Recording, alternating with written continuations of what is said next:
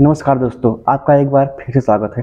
दोस्तों, बहुत सी बार आप लोग सोचते होंगे ये कट फ्लावर क्या होता है और रोज फ्लावर और लूज फ्लावर क्या होता है। आज मैं आप लोगों को बताऊँगा कट फ्लावर क्या है और लूज फ्लावर क्या है।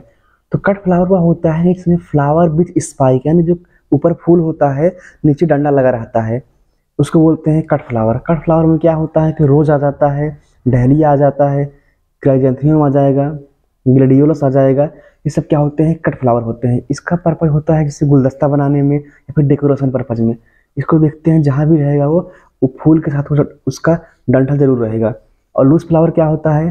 फ्लावर या स्टेमलेस फ्लावर यानी उसमें क्या होता है? जो नीचे स्टेम होता है, वो बहुत छोटा या फिर नहीं होता है। उसको हाथ से तोड़ सकते हैं। जैसे देखते होंगे आप लोग गेंदा।